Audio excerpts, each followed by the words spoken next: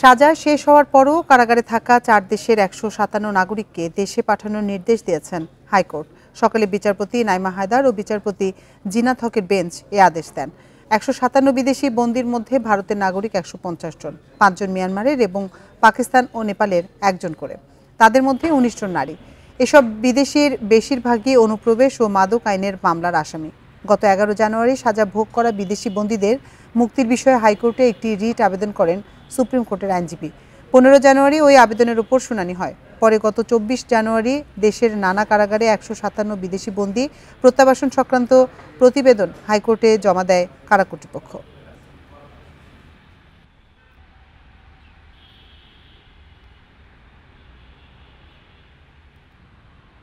এক মিনিটে Nagad Islamic account খুলতে ডায়াল করুন star one six seven hash.